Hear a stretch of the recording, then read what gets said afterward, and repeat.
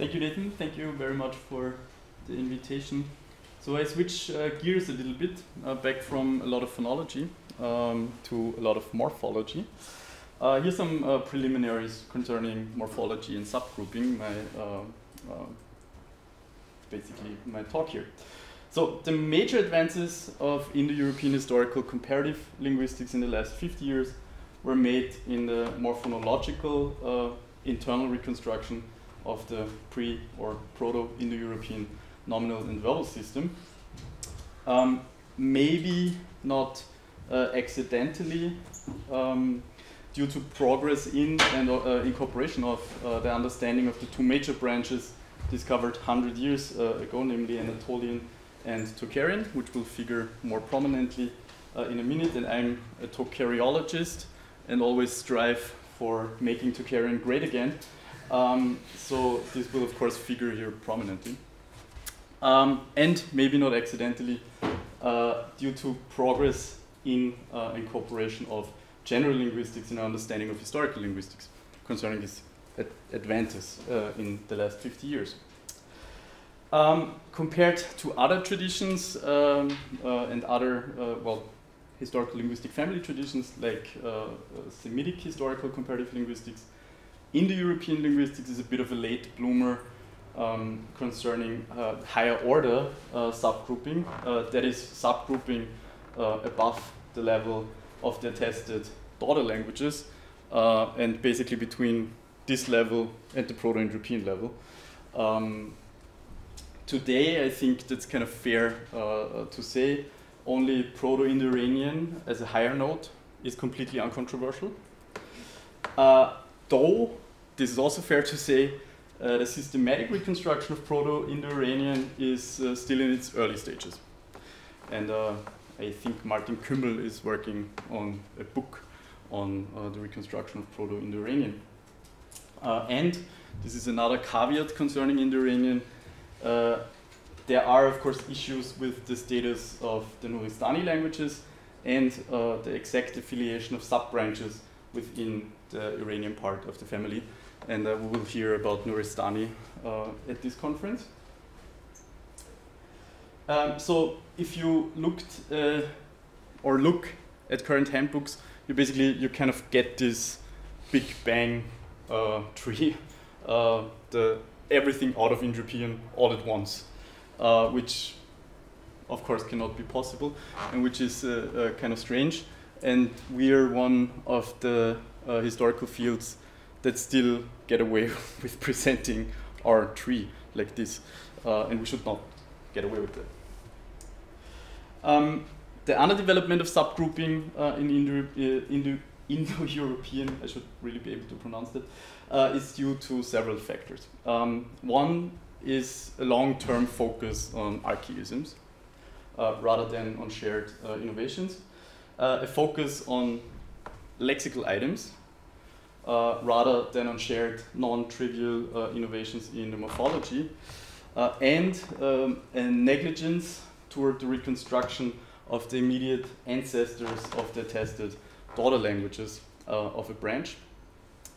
we already talked a little bit about Indo-Iranian, but for example, in my specialty, we have not even really started to systematically reconstruct the morphology of Proto uh, Tocharian. Um, we're, we're, basically in the process of doing this.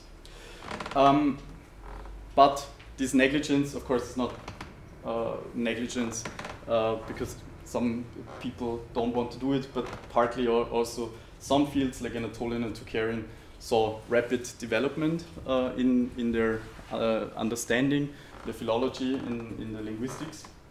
Um, and these new uh, uh, discoveries are just in need of uh, incorporation uh, into our reconstructions.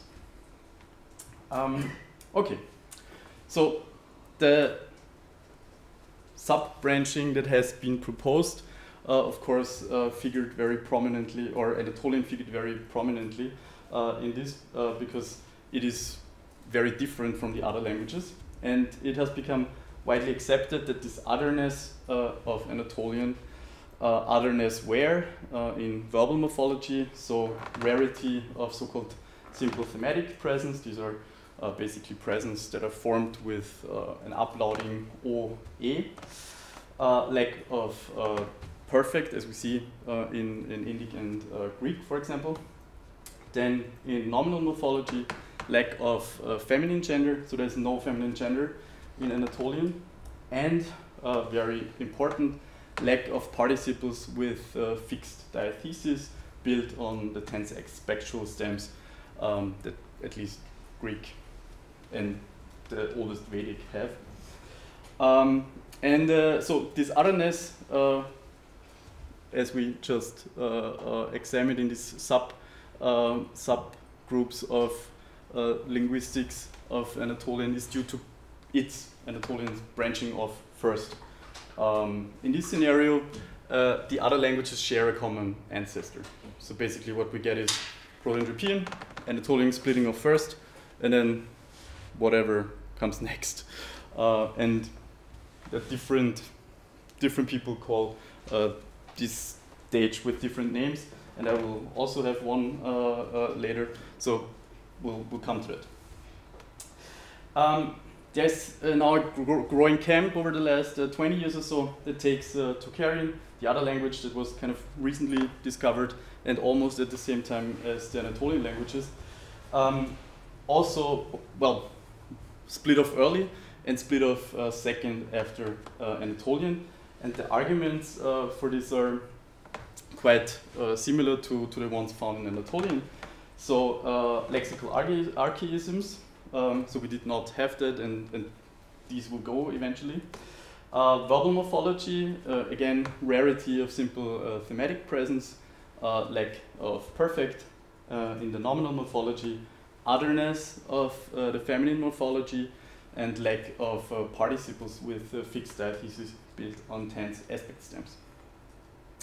Uh, so basically, uh, what these people who proposed the Tocharian split of first uh, think is we have Proto-Indo-European, Anatolian, whatever you call this, then Tocharian, and then what I think is now almost established in, a, in the European with sub-branching that has not been figured out yet. But with uh, the other languages coming uh, uh, after Tocharian has split off. Okay, so what to do?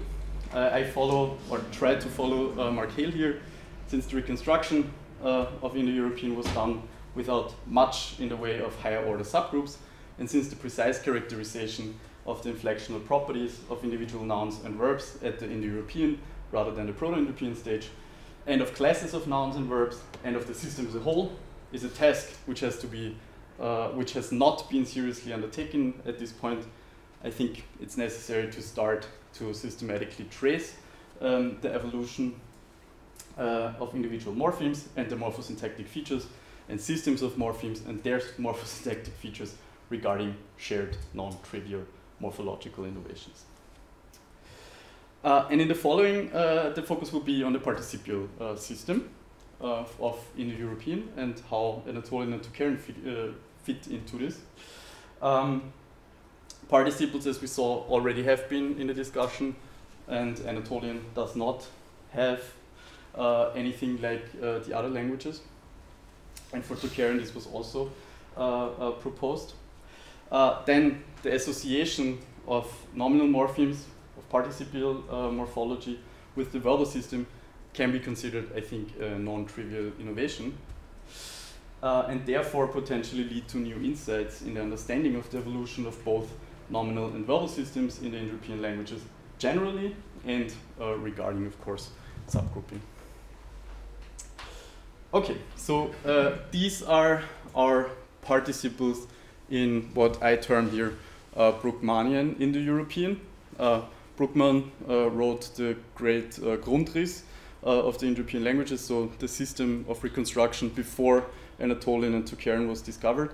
Um, my uh, former teacher, Jay Jasanoff, in a recent paper wrote, and I like this expression, the ink on the Grundriss was not yet dry, and then suddenly they discovered Anatolian and Tocharian, and basically the whole Grundriss would have had to be uh, remodeled, um, but it wasn't.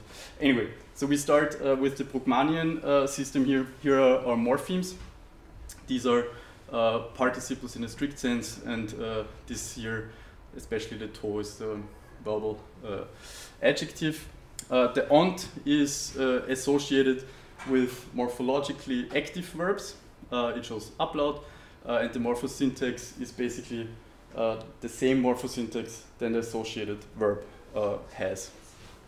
Uh, is the mediopassive uh, participle, um, non-ablauting, uh, and again morphosyntax associated with uh, the verb. And mediopassive means that uh, it is associated with, with finite verbs that are mediopassive. And then we have uh, the, the was us perfect, which is ablauting. Um, it is associated with finite perfects. Um, and uh, again, the morphosyntax depends uh, or is exactly the same as, uh, as with the finite verbs they're associated with. And then to, basically, also non-ablauting verbal adjective that kind of has stative semantics. So if we look uh, here, um, well, this distinction is not really important, but I just wanted to, to give it anyways. Uh, so the athematic thematic uh, distinction is not super important uh, for what is to come. But anyway, athematic just means no ablauting OE vowel, uh, and thematic means an ablauting OE vowel in the finite verbs, uh, and uh, no, no ablaut in uh, the present. So uh, I give you Vedic and Greek um, as the classical Brugmanian Indo-European languages. Uh, and, and, these are always uh, cognate, right? So Darant is a direct uh, correspondent of Didus, Barant is a direct correspondent of Feron. Uh, I have a pointer. Uh, is a direct correspondent of Ion, Shravant is a direct correspondent of Reon. So they are super nicely uh, cognate. Okay. Then uh, let's look at uh, Muchno, and here I just took the uh, mediopassive uh, versions of decided verbs before. So uh, Dadana is secretly uh, the the the mana, uh, but with some sound changes. But anyway, direct cognate with uh, didominos, uh, paramana, direct cognate with uh, feromenos. And here, uh, these are just blank because they are not attested, but reo Uh, has uh, mediopassive reomai, and, uh, uh, and we saw reon as the normal active participle, and here we see reomenos as the middle participle. Then here our was uh, uh, suffix or perfect uh, participle.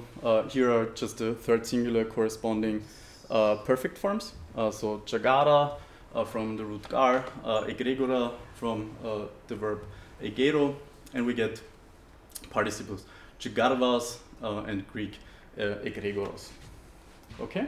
And which I somehow humoristically translated as uh, woke. Um, okay, and now we turn to, to the top participles, uh, and here um, a distinction of Aktionsart, uh, of lexical um, aspect becomes important. Why? That you will see uh, in a minute in Anatolian. So um, stative, non-stative here are uh, uh, lexical aspect, um, and the differentiation, so this differentiation will become important in a minute. But anyway, we get Peter from Pa, Potos from Pino, uh, Stita from Star, Status from Histemi, and they're completely nicely cognate. Gata from Gam, Batos from Bino, completely cognate. Okay? Good. If we uh, look at the evidence uh, of all the uh, Brugmanian Indo-European languages, we basically see uh, some that behave very nicely, but the fact is, are, are what, I tried to show that in the Iranian Greek, there are very nice cognates for uh, anti-Muchno was to, and actually uh, also Balto-Slavic has uh, anti-Muchno uh, was. Um, the to becomes in most of the languages kind of a new uh, specialized perfect participle, uh, um, passive uh, participle, like we know uh, in, in Latin. Um, and we don't have to go over all that.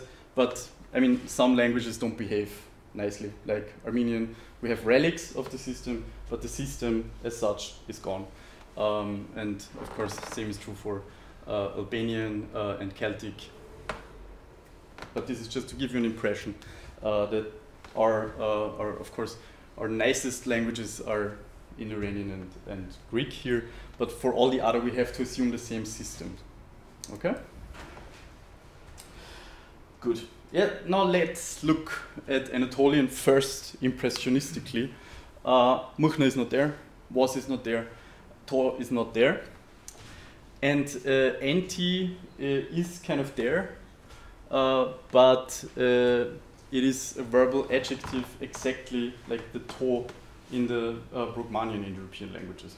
Okay, uh, to to show you this, uh, again here so lexical aspect. So uh, if if we have uh, Quenzi to kill, uh, um, Kunant means killed, exactly like Potos from Pino. Uh, if we have a stative Arta stand, then we get Arand standing. And if we have a non-stative uh, Aki uh, die, uh, we get Akand died. Okay, so it's exactly we have exactly like the two participles in the in the, in the European languages. And uh, if you want to look for the gory philological details, consult the excellent dissertation of Michael Frotscher, uh, who basically tracked every single NT attestation in uh, Hittite. Um, okay, Laura Grestenberger and I, uh, and she will speak uh, tomorrow, um, we um, tried to reconcile the uh, NT in Anatolian with the NT in the rest of the languages. Because kind of before we did that, people started to think, well, NT is so different in Anatolian that this is just a thing that looks like the NT of the other languages, but it's something completely different. But uh, I think it's easier uh, to come up with a way of um, bringing all of these together. And uh, we did that in assuming that uh, uh, basically NT was original, the nominal, the radical, possessive, which in Indo-European jargon means uh, adjectival suffix, like we actually see. So uh, Burg, Heid in, in Börres or Burgs, Gothic castle, and Bergond, having Heid, high, like in uh, Western uh, Beresand and uh, Burhand, or uh, so this was the original function, and that we uh, see also in Hittite. So we have nada read, uh, and we get nadand having a read, ready. So this is the first step. The second is in Anatolian, uh, this was reanalyzed as a resultant state. So we, we have our denominal here, and then they transferred this kind of concept on uh, the verbs, um, and we get uh, kind of what we saw before. So we have a, a resultant state interpretation of this NT, and this is how we get the, the verbal adjective um, in uh, Anatolian. So what happened in the post-Anatolian Indo-European languages? Well, we also have a reanalysis as a resultant state, uh, but this is then further uh, interpreted as uh, processual. Um, so we, we saw our uh, denominals here, so and high to Börres height. Uh, and this is actually a very nice example because here we get, uh, in, in Vedic Jivon, we, we basically get the, all the steps that we need uh, for our explanation. This was originally denominal and meant having life. And from having life, uh, it got this uh, resultant state interpretation, being alive, and being alive, of course, is living. And uh, with this processual um, uh, interpretation, uh, this one expanded to the other verbs, to, to non-stative intransitives, like yant, going, and then further to transitives. And here we go, we have barand, carry. So this is what we assume. Um, now let's look at uh, Tocharian. Um, we find uh, the NT like in Brugmanian, uh, Indo-European, we find Mukhno like in uh, Brugmanian Indo-European, and we find uh, was us like in Brugmanian Indo-European. Uh, and we're not sure about the status of To. Um, stay tuned. Um, I've argued against, uh, well, yeah, against one of my own teachers, Melanie Malzahn, uh, that all these participles in, into Mukhno, uh, behave exactly like uh, like anti and participles in the Brugmanian languages. Uh, before they were kind of uh, uh, thought to be like um, agent nouns of some sort, but they're real nice participles and directly correspond to their finite verbs. So we get Brencher, uh. This, of course, directly corresponds to uh, Badand and Feron. Um, carrying carry, we get Klientscher, Kliant, standing, to stand, and we get Jenentscher and Jant must exist, but we just accidentally don't have it. Um, going, uh, go. We just have not so much to carry in A as to carry in B. I mean, the, the difference is like we have 80% more to carry in B than we have to carry in A. But Jant must have existed. Uh, then uh, let's look at the Machno uh, guys here. So uh, Trunkmane, uh, from Trunk, uh, say for oneself, being said. Premane, Purman, caring for oneself, being carried. Yenemane, Yeman, because we also have finite uh, passive or medial inflection of the verb. Uh, we have uh, going, and then katgemane, katkman, uh, being glad from uh, the root be glad, uh, or, or the verb. Good. And then uh, finally our was, and they come in reduplicated and non-reduplicated forms. so our osh, so this is the so-called oblique, um, our osh, uh, O-osh, uh, U-osh, they all go back to was with different um, vowel things happening. Uh, but believe me, they all go back to was. Um, and here we, we have uh, uh, kursao, kurso, um, and here we have a reduplicated one, uh, kekamu, kakmu. And of course, this is the same root that we have here, uh, the Guem root uh, to go. Uh, and, and actually, these are directly cognate, right? Uh, Kekamu is directly cognate with uh, Chaganvas and uh, Bebaos. Here I gave you just the, finite forms. The only difference is that the reduplication vowel in Tocharian uh, is an O, but this is just the copy of the root vowel uh, into the uh, reduplicant, which is kind of trivial innovation. Okay, so let's take stock again. Um, and now we're talking about our uh, suffixes here in the participial sense. Anatolian uh, does not have the NT in the participial uh, way, uh, does not have muchno and does not have was, us, but Tocharian basically behaves exactly like uh, the Brugmanian Indo-European languages. Um, so uh, here is the development. We start out with the denominal possessive NT, uh, in Anatolian we get the verbal adjective, and uh, Brugmanian Indo-European, which now includes Tocharian, has the innovation of associating NT uh, with active verbs, muchno with middle verbs, uh, and was with uh, perfect. And here's a, a slight twist uh, here, namely the origin of the perfect participle. Uh, here I, I follow uh, also one of my teachers, Jeremy Rau, uh, who assumed that originally the perfect participle started out as a deverbal adjectival ustem derived from the perfect or directly uh, from the root. So we get chkech gor, basically or perfect, and then we get chkech geru, which is this derived ustem and we kind of have this. Uh, uh, I mean, they're close enough uh, related. So chagara is our finite perfect, and then we get chagaru awake as the participle, or for a, a derivation, we have wait and we get weiru uh, videv. This is one of our accent ablaut classes, uh, and this is also directly attested. So this is the first step to go uh, to the perfect participle. Next step is this adjectival ustem uh, created a neuter stem abstract. So we start here with this u uh, um, adjective and we just add an s. I mean we, not the Proto-Europeans, added an s and made this uh, into an abstract.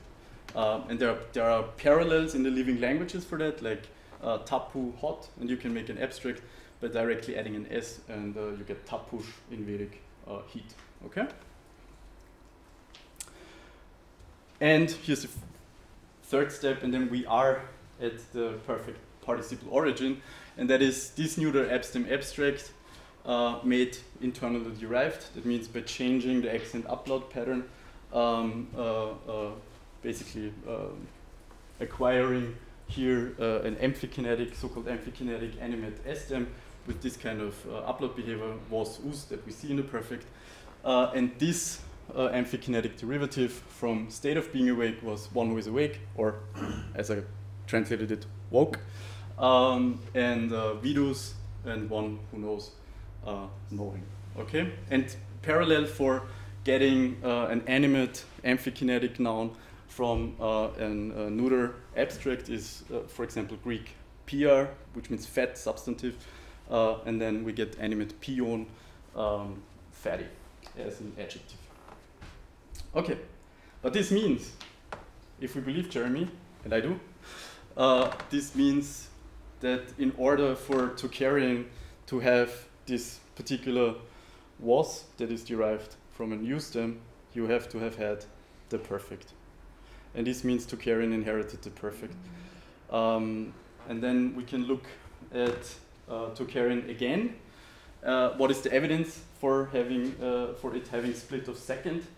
Um, lexical archaisms uh, um, in the verbal morphology, rarity of simple thematic present, lack of perfect, uh, otherness of the feminine morphology, lack of participles with fixed diathesis, built on tense aspectual stems, lexical archaisms have to go. Because lexical changes are unpredictable uh, and should not be used for subgrouping arguments. In the verbal morphology, um, oh, sorry, nominal morphology, otherness of the feminine morphology, I showed that Tocharian just uh, got normally inherited uh, both the IH2 feminine and the EH2 feminine, um, and we can talk about that, uh, um, but this was not part of, uh, of this talk today. Uh, lack of participles with fixed diathesis, billion tense, and spectral stems has to go. That's what we saw. Uh, lack of perfect has to go because we have the perfect participle, and the perfect participle says at some point the language had a perfect. Well, it changed the perfect, but so did other uh, Indo-European languages. Latin uh, uh, made a new preterite category that is composed of perfect and aorist, and something similar uh, must have happened to Tocharian, and we have to figure out exactly how this uh, worked out. So we're left with rarity of simple thematic presence and accompanying things like uh, thematic optative.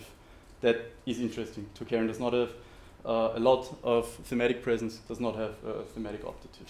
But anyway, but we see not so many arguments for Tocharian having split off second.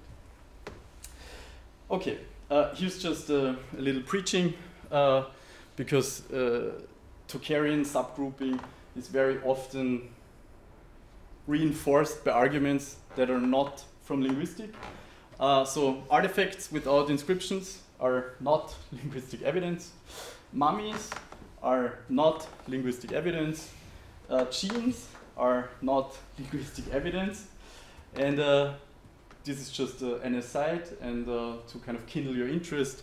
The earliest linguistic evidence for Tocharian speakers near uh, Xinjiang, where the texts were found and where they are attested over a period of 600 years between Uh, 400 uh, CE uh, and, and 1000 CE, are furnished by loanwords. And this is ongoing work with Bill Baxter.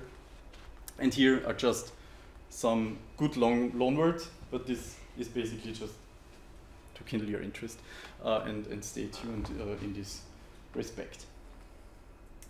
Okay, so to conclude, participles with uh, fixed diathesis, build on tense spectral stems a shared innovation that happened after Anatolian split off.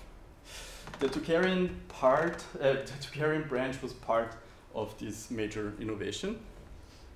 Uh, Tocharian inherited the classical uh, Brugmanian Indo-European perfect. Tocharian inherited all participles in their classical Brugmanian Indo-European value. Uh, and later, of course, changing bits and pieces like almost everyone else except our precious little friends, Greek and Indo-Iranian. Uh, what's the perspective? The perspective is tracing the evolution of individual morphemes and their morphosyntactic features and systems of morphemes and their morphosyntactic features regarding non-trivial innovations. Uh, hopefully at some point soon reasonably computer aided and this will lead to modifications in the subgrouping and here's uh, Mark Hale again and since any modification in subgrouping changes the value of individual data points for the reconstruction of the proto-language, we can anticipate many modifications to reconstruction as we finally do the work necessary to confidently establish subgrouping relations. And what I presented here today was just a bit of how we have to change uh, individual data points here. Uh, and here is a good uh, Indo-European uh, sermon. Um, in order to do this, uh, the subgrouping, uh, the focus of the field, i.e. IE, should be on building uh, on and advancing the great achievements of the historical comparative method in the morphophonology and morphosyntax of the Indo-European languages, instead of shaky evidence purely based on lexical items, or worse, combined with evidence of shady evidence of uh, population genetics. Uh, and instead of deconstructing the system uh, that are kind of established uh, in favor of, of having membra disjecta and projecting every T-stem that looks funny in an individual language directly back to the proto-language, uh, uh, where we then get seven different T-stems instead of one uh, um, T-stem, which I termed, I hope to be not too rude here, uh, alephony, alophony, uh, like infamy. Um, anyway, um, as uh, Tocharian B speakers would say, yes, Palsko, Kritanien, yes, so thank you for your attention.